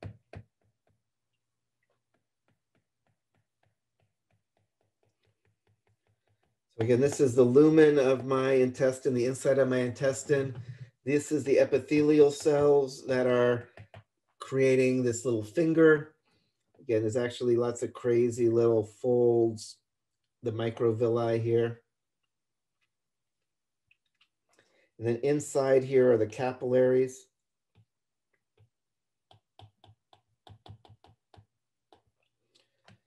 And as well as the lacteal, which is a lymph capillary.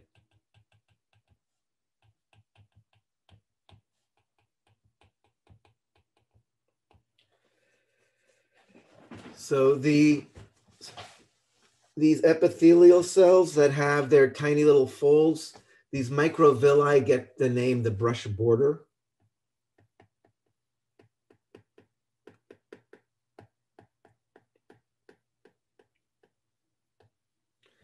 Um, brush border because it looks kind of like, you know, that kind of irregular end of a brush. Um, this has brush border enzymes anchored onto the cells.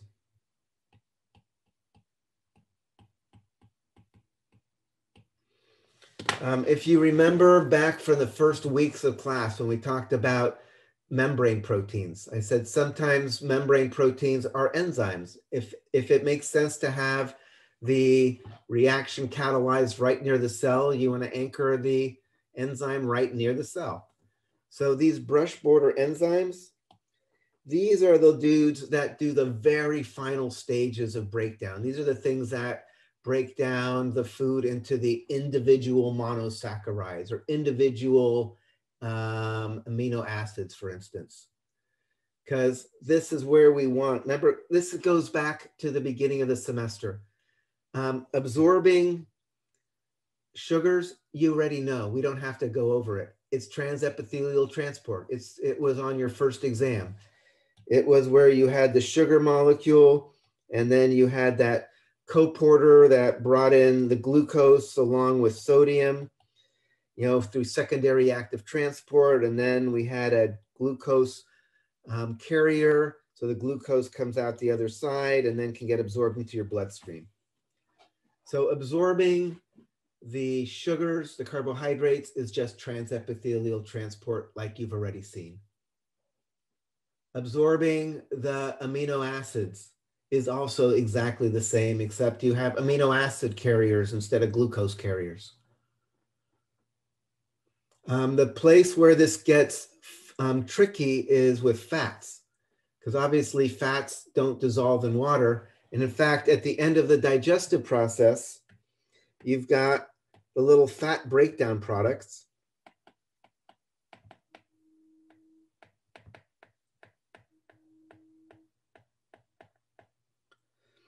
And there are bile salts kind of holding them in isolation.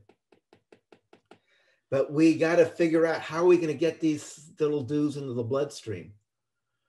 Um, and so it actually ends up becoming kind of a complicated process. Um, so I have to introduce the lipoproteins to really talk about how the fats are going to end up in the bloodstream.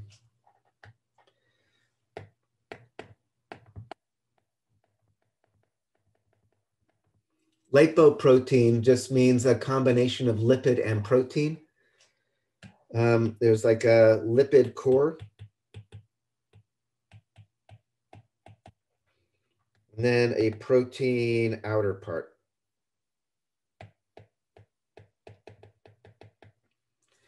You know, the nice thing about this is that this dissolves in water and can carry the lipids around in the bloodstream because, you know, it has a hydrophilic um, outer coating, even though the lipid core is hydrophobic, this thing will dissolve and get transported around in your plasma.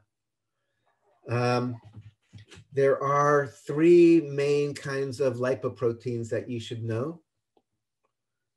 There are going to be LDLs and HDLs. This means low density lipoprotein.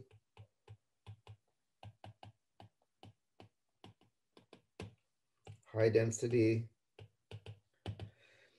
These are kind of the main ways of transporting the fats around in your bloodstream. Um, in general, HDLs are kind of taking fats away. LDLs are taking fats in for deposition.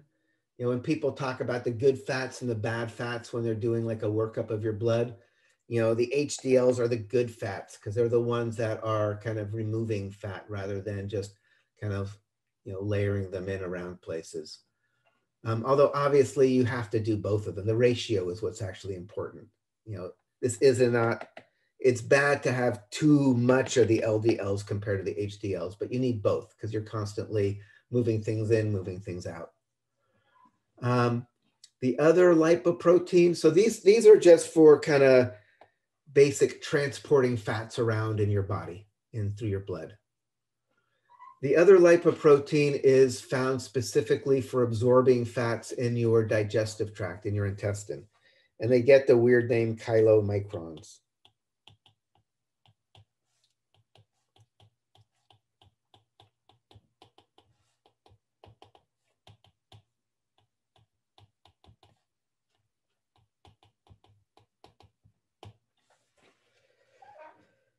Um, and the way it's going to work is this.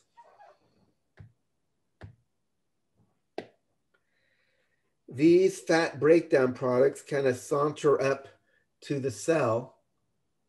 The cell then assembles them and makes these chylomicrons, which it spits out on the other side.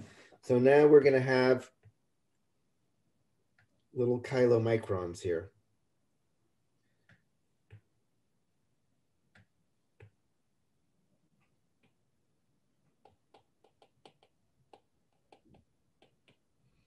So basically the fats got taken up by the cell, got assembled through the metabolic machinery and got spit out the other side and are now sitting inside on this other side as chylomicrons. But it turns out the chylomicrons are too big to get absorbed into a capillary directly. Um, so that's where the lacteal comes in, this lymph capillary. We talked about lymph capillaries being much leakier, having the flappy endothelial cells that can take in big things. So these can actually get absorbed into the lacteal.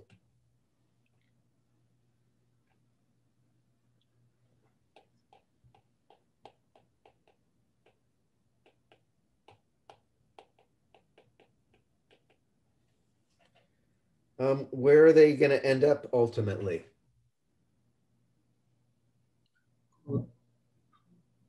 Cisterna chyli. So the cisterna chyli is the big lymphatic duct that these all drain into, kind of in your thoracic region, or actually abdominal region. And then where does that go? Radius cephalic. Back to circulation. It, it just ends up in your um, venous circulation. Remember, it just dumps into the veins near the vena cava. So the fats do end up in your bloodstream, but through a more indirect route. Rather than getting like, you know, if you have your sugars, your sugars just get pushed across the membrane through transepithelial transport and absorbed into a capillary. Amino acids cross the membrane through transepithelial transport and go directly into a capillary. The fats, on the other hand, have this more circuitous route. They get assembled into chylomicrons, these little lipoproteins. Those lipoproteins go into a um, lymph capillary. The lymph capillary ultimately drains into your venous circulation. So it is now in your bloodstream, but it, it took a few steps. So any questions about that?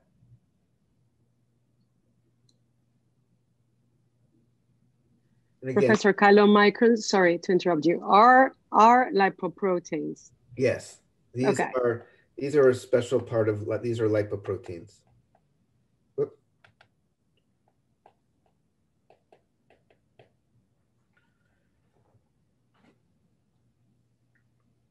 So, and again, this is the main main place where you have both the breakdown happening in the lumen with all of the digestive juices, as well as the lion's share of the absorption that's happening through these processes.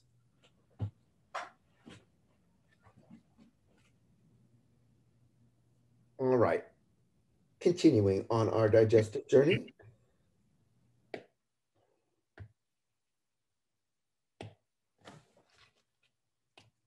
So we had the stomach, duodenum, the jejunum. Again.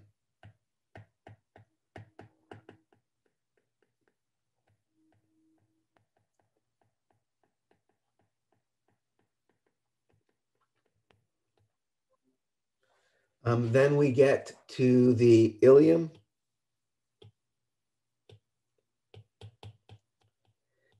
Know, the ileum, one of the things that happens in the ileum, you reabsorb bile salts.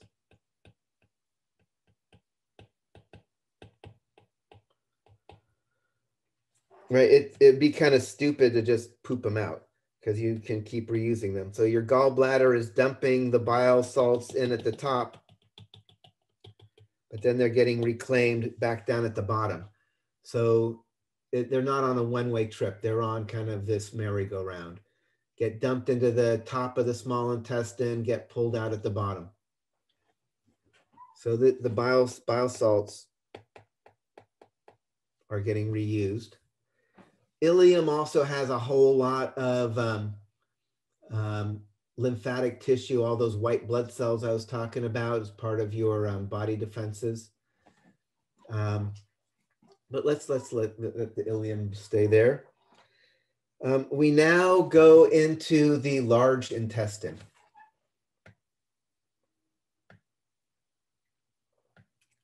Yeah, large intestine gets its name because it's um, large diameter. It's kind of like the diameter of your arm, but it's not so long. It actually, it just kind of goes, it goes up. There's an ascending colon, a transverse colon, a descending colon, a little sigmoid colon, because you got to bring it into the middle. So, because your your anus is in the center of your body, then there's the rectum, and then there's the anus.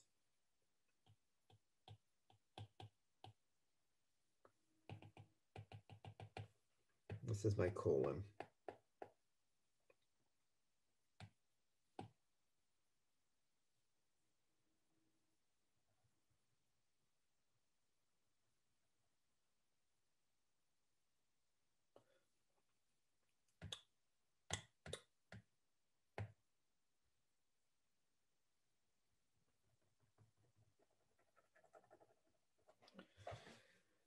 Um, like I mentioned, a big thing that the colon is doing is reabsorbing water. Because all of this process has been mixing all these digestive juices in and smushing around and so it's this watery goo in there which you don't want to lose all that water. So we're doing a lot of reabsorbed water here.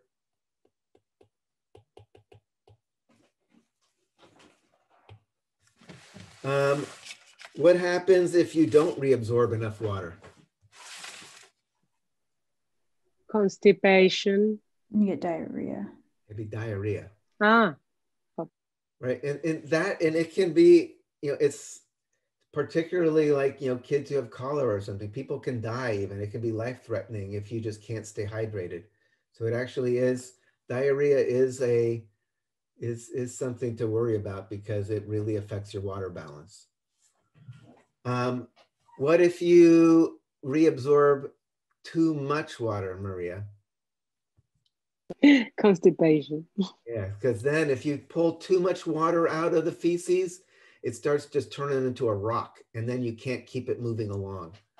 You know, it's part of the reason roughage in your diet is, you know, roughage, which, which is the like the cellulose, undigestible parts, is helping keep you regular because it gives the muscle something to kind of push to keep things moving, so you don't just let it sit there and just keep reabsorbing. It also, the roughage is kind of sponge-like, kind of holds onto some of the water. So you need to keep some moisture in your feces or else you're not going to be able to kind of move it out. Um, one of the things that can happen, you know, you can, you can, if it gets really bad, um, so much water gets pulled out that it just becomes like a rock. And then they go in, they call it like, what is it? Um, impacted bowel, they actually kind of have to go in and chip it out to kind of get things moving again. So, um, other things in here, there are a bunch of bacteria in here. Um, you know, when you poop, about at least half of the mass of your poop is not waste from your digestive um, from your food. It's actually bacteria that are living in your intestines. Um, those bacteria do all sorts of things. I mean, one thing they do is they can break down some of the remaining stuff here and make some vitamins. So these can make some can make some vitamins.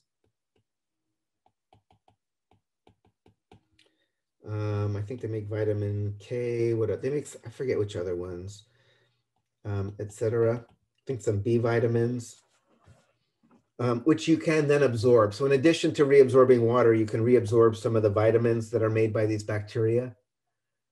Um, the bacteria also in their metabolic processes make gas, you know, flatus. That's one of the things the rectum does. The rectum actually has kind of like a little valve system, can, you know, separates flatus from feces.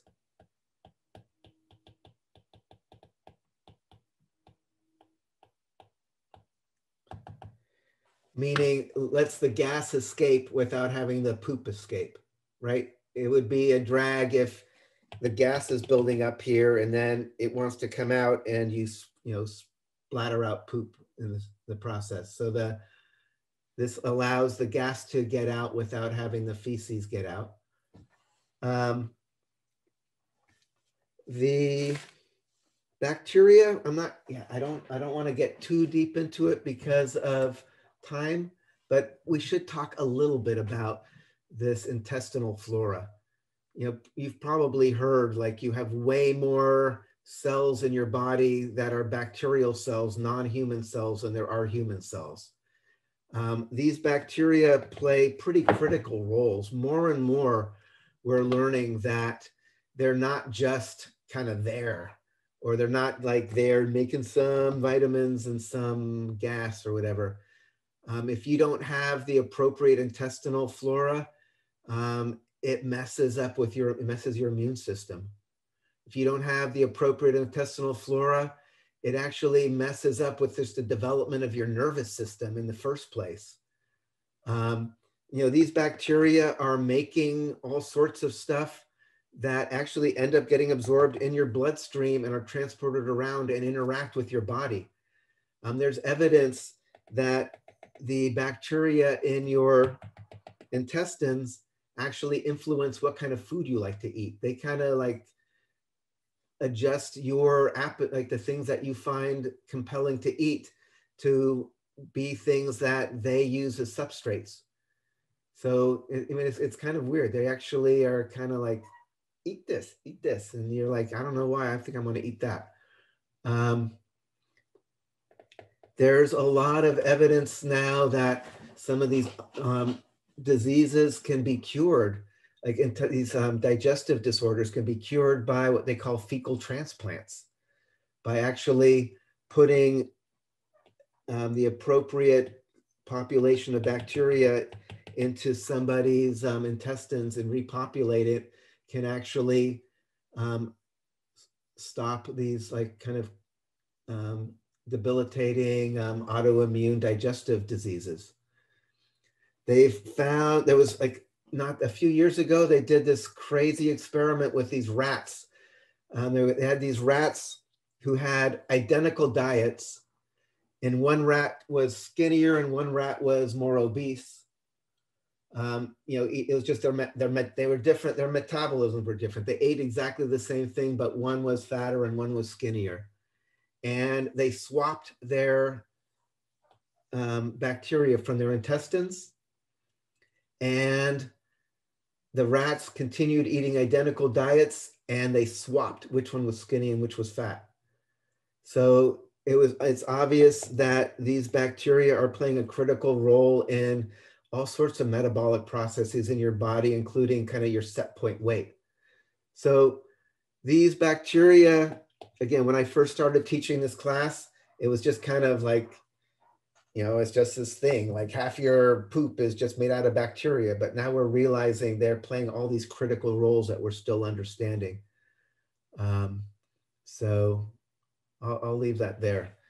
But yes, more and more we're learning that there's something you really need to pay attention to when you're thinking about health. Um, all right, we we're doing okay. We're doing okay. I made myself a schedule and I'm on it. So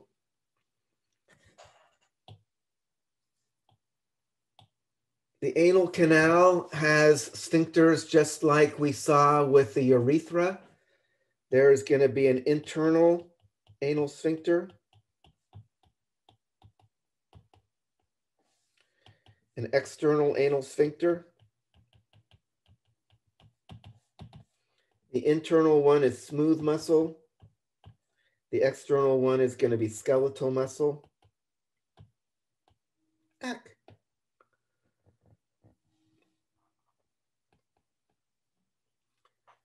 You know, and it's going to be the same kind of, it's going to be one of these spinal reflexes that is triggered by stretch. Um, except now, instead of stretch of the bladder, it's going to be stretch of the rectum. As the rectum gets all stretched out as it's filling with feces, that is going to trigger this internal anal sphincter to relax. And then you're going to feel pressure down here, and it's like, I got to poop. And then you have the external sphincter, which is voluntary. The skeletal muscle is voluntary.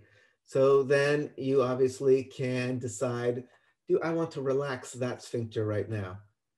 Um, you know, and obviously you can help increase pressure here. Remember we talked about the glottis. You can shut down the glottis and your um, larynx and bear down, increase the abdominal pressure and try to squish down and make it more likely that you're gonna kind of poop things out. Um, but yeah, this this little story here of an internal and external sphincter, you know, triggered by a stretch reflex as here as feces builds up or in the urinary system as urine builds up. You know, that's it's the same basic story. It's just a stimulus is a stretch. The response is relax the internal smooth muscle sphincter, which results in the urge to defecate or pee. And then you have a voluntary choice to do the external sphincter or not. Um, all right, so the last thing I'm going to do just for completeness is just talk about the liver for a little, just for a few moments.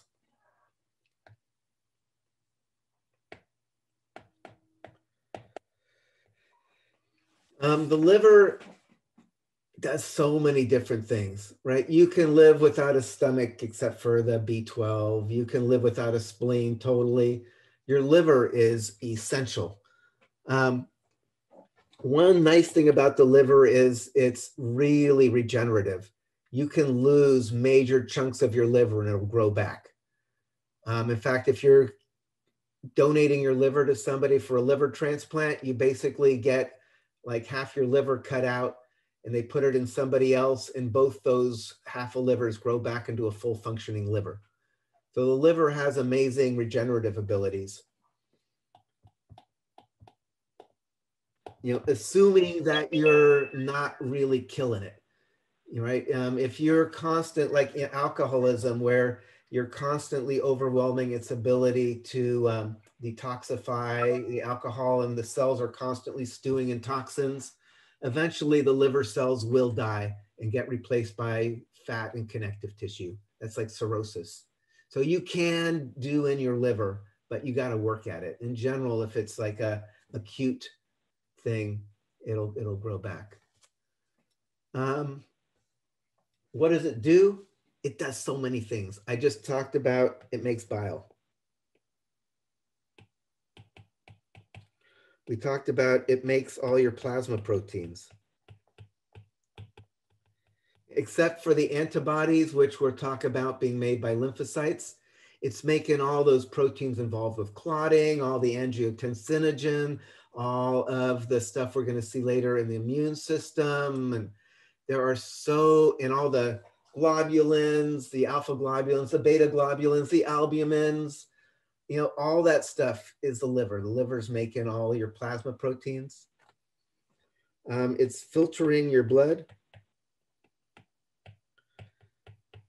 recycling red blood cells.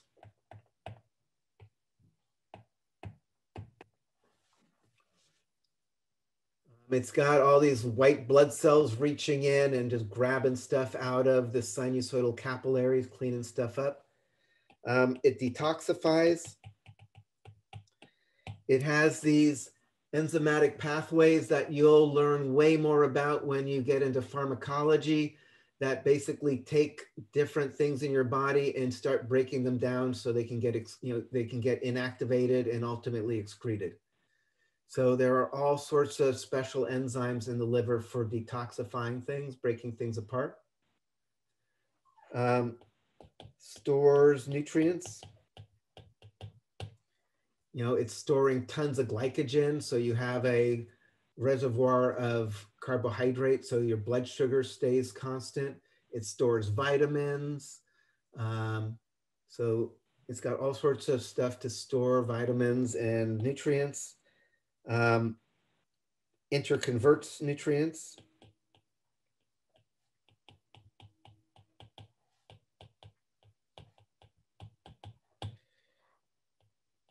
you know, I talked about how there's, you know, you don't have a lot of these amino acids are not essential.